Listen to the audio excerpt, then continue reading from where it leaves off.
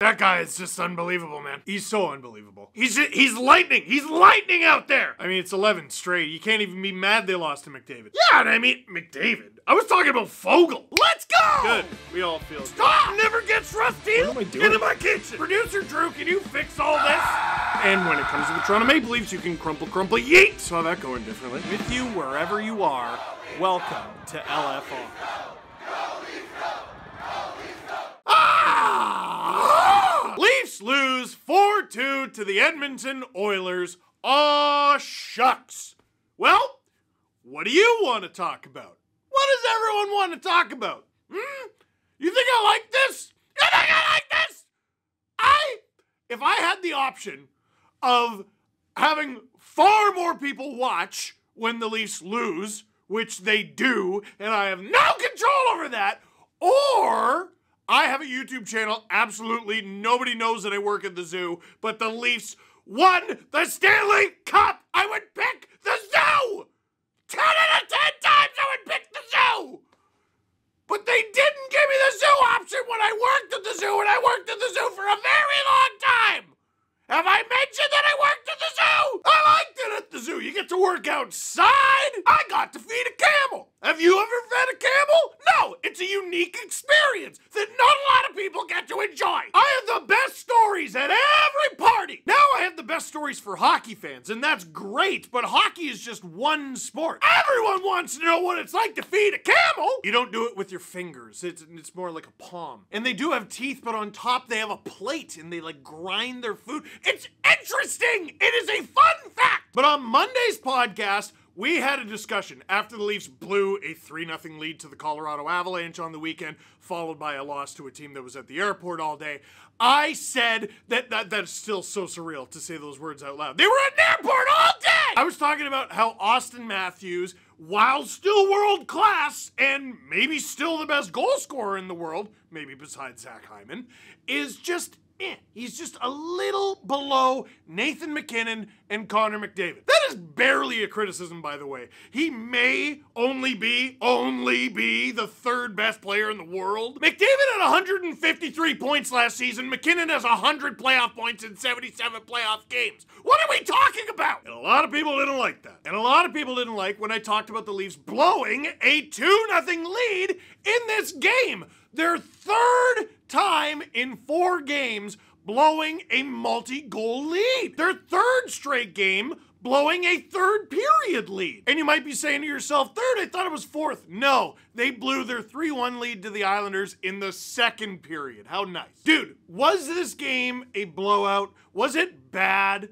No, honestly, no. That was one of the most entertaining hockey games of the season. It was back and forth and back and forth and back and forth. And there was hitting and there was chippiness and there were storylines and there was a goal disallowed and then they get it right back and there was a goal in the first 30 seconds and it was high octane, high speed.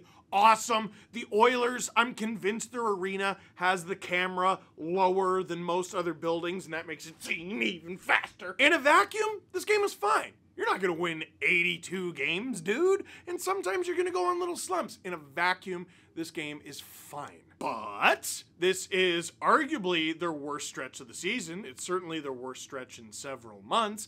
They have lost four straight games, and had they won their last game, they would still have lost three out of four games. But would we care nearly as much? No. I'd feel way better about it because at least it breaks it up a bit. You lose two straight, you blow two leads, you don't like that, you get kind of mad about that. Then they win a game in the second half of a back to back against the team that, let's be honest, they should be beating. That's fine. That's great. Two points is two points. Um. And then you go to Edmonton. They've won 10 straight games. They have home ice advantage. You are on the road. What do you expect? What do you expect is your best effort. And they gave their best effort and it wasn't good enough and they lost. Aw, shucks. But that is not the reality that we live in because they lost to a team that was at the airport all day. But at very least, they had the resilience in them to not blow a multi goal lead to the team that was at the airport all day. It was just a one goal lead, regular. Dude, it's bad. It's bad right now. And it's okay to say it's bad. It doesn't mean you don't love the team for God's sake, I'm still here. How? How? If if not powered by love, how am I still here? Every year this happens. Every year this happens where I criticize the team and people go, hey, you're being too hard on them. And then what do they do? They let you down. Did I say you? No, they let us down because I would rather they win.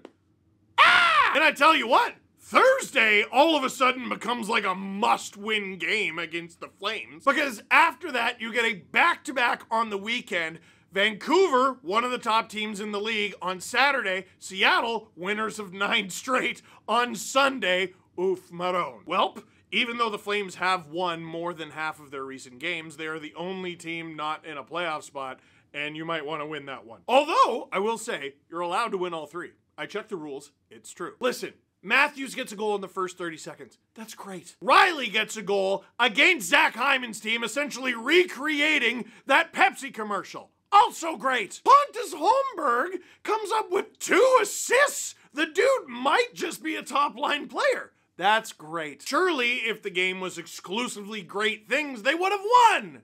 But it wasn't. No, there were some not great moments, and that's not being a hater, that's legitimate criticism. First of all, Zach Hyman barbecued TJ Brodie. Barbecued that man. I'm not talking about a juicy, succulent burger. I'm talking about that charred crap at the bottom. Wicked goal from Hyman. Hey, hey, hey, Leafs video crew. Unbelievable, huh? Unbelievable. Their track record spots it right away. That's offside. They review it. It's offside. No goal. 2 0 lead intact. The Martin Jones shutout is still alive. And then he immediately follows that up by allowing a top five worst Leaf goal against this season. And you might be saying to yourself, Steve, that's not top five. That's the problem! Draisaitl just kind of goes, huh, and it goes in. Part of the problem is Jones had a lot of traffic in front, and I think that might be the Oilers coaching staff adjusting to, oh, oh, the, the Leafs like don't know how to do this, and they just go to the blue paint and succeed. Derek Ryan scored the Oilers' second goal that tied the game. Do you want to see the moment the goal happened? It wasn't the moment he shot the puck into the net. It was the moment four Leafs converged on one guy along the wall, which leads to like a second later where Morgan Rielly's like, uh, guys, pass in front. Ryan scores. Brodie goes right back to getting barbecued. Honorable mention, Matthew Knies. Holy cow, this is the worst stretch of his career so far. Right after a stretch where he was playing like an animal. I have full faith he's to get it back, but you can't deny this has been brutal. I'm sure playing on three different lines in three different games hasn't helped that much. And then the game winning goal. Now, this is one of those be careful what you wish for moments, because I was in several group chats that were complaining about TJ Brodie and why not? He wasn't playing well. And some people said, well, how about Rielly Liljegren? And that is something I, I would try. That's something I would like to see Sheldon Keefe try a little bit more. Uh, but some people said, what about Simon Benoit? And here's the thing I love him. I want him extended. I want him to be a Leaf. But that might be a bridge too far. You want to see what Rielly Benoit looks like? You can. It happened in real life. Uh, here it is, actually. Here it is right here. They're both on the same side. Uh, don't like that very much. Matthews is, uh, he's doing a good job net front. Not sure if that's his job, but, uh, well, and if you were wondering how a somewhat decently placed Warren Foegele wrist shot found its way into the back of the net. Should we blame Martin Jones? Uh, no. No, I don't think he saw that one, actually. Bouchard gets the empty net goal. It trickles in. That was the only good news in the game for me because I have him in fantasy. Actually, I have Rielly in fantasy too. You know who else from this game I have in fantasy is William Nylander! Four games now. Four games without a point since the San Jose Sharks and signing that deal. That is not a narrative, that is counting. One, two, three, four games without a point. It's bad. Now I want to get to questions, and I don't want to rag on this player because I don't think Marner played a poor game. I don't. But this after the game drives me nuts. From Luke Fox, Mitch Marner says Leafs aren't frustrated. We gotta ignore what everyone else says. We know we're a great hockey team. We show up every night. I mean, the last four games that we've had leads, We've played some awesome hockey, some great hockey. And then another quote, this one provided by David Alter. Do you feel frustration seeping in? Mitch Marner said, No, but a lot of people on the outside are trying to do that. It's how it goes for us. we know we're doing the right things. Stop. You gotta stop. You got listen, I think you take a man at his word. I believe Mitch Marner. He has said so many times, so many times that he ignores the outside noise. He doesn't consume any of it. He doesn't listen to all of it. He simply talks about all of that noise all of the time.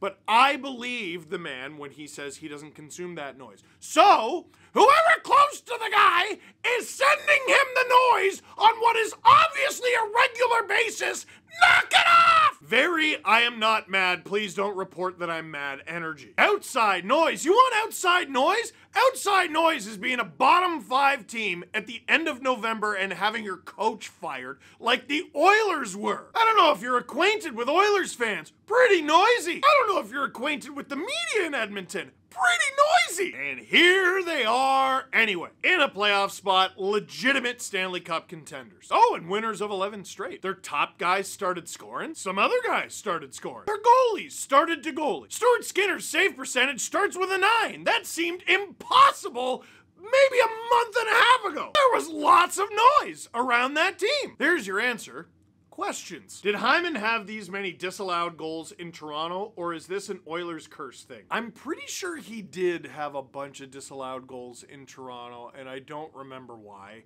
Uh, Matthews had a bunch too. That whole line, basically. Also, maybe they should be disallowing Zach Hyman goals. He headed into this game on a 55 goal pace, and if that went in, it would have been 60. It's the only way to slow the man down. What's his cap hit again? Ooh, that's gonna make me sad for a long time. I wonder if Zach Hyman makes more or less than Tyler Bertuzzi. Oh, the exact same, but on long term, gosh, I'm miserable. Here's one. I have a feeling Keefe is gone tomorrow. He's lost the team. Yeah, no. The Leafs are uh, game one of a four game Western road swing. There is a less than 0% chance they fire Sheldon Keefe after this game. No way. No way. It's not going to happen. Things are bad right now. There is reason to criticize the roster and its construction. Brad, Brendan, and also the coaching staff. There really is. There really is. But fired after this? No. And last, are we making the playoffs? Um, well, that depends. What do you qualify as making the playoffs? I think it's an interesting question given what happened last season. Like, here, let me ask you this is it good enough that they make the playoffs? I get the impression it's not. When they lost to Washington and then Boston and then Boston and then Columbus, and it's up in the air whether or not they actually made the playoffs that year. And then Montreal, we don't like to talk about that. And then Tampa, and then, oh, hey, they finally beat Tampa. But that lead up to when they beat Tampa was bad. We didn't like it very much. And then they finally win a series and they take on Florida, and oof, do they get caved in. Five games, thank you very much, gone. And like, it was cool to win around. It was definitely cool to finally win around. But after that loss to Florida, you're like, man, it's not just about making the playoffs. Man, it's not just about ending a slump and finally getting a round. Dude, I want them to compete for the cup and with this core that doesn't feel like a wild request year in, year out, no matter what, with a core making a fortune. I, why shouldn't we expect that? Why shouldn't we expect that? And why, with a core like this one, if they are not to be expected to be a cup contender, should I be content with that? No one should be okay with that. Not a person. Well, actually, that's not true. You should be okay with that if you're a fan of the other 31 teams. Oh, heck of a halfway mark. Listen, Thursday, you get Calgary. You can only win one game at a time. Start there. You've had a bad run of four games. It's been bad. Things have been yelled. Things have been whispered. Start there. Thursday, one game. Worry about Saturday on Saturday. That is it for this one. Thank you very much for watching. Click like if you like this video. Click subscribe if you really liked it. Tell all your friends. Careful out there. There's a lot of noise going around.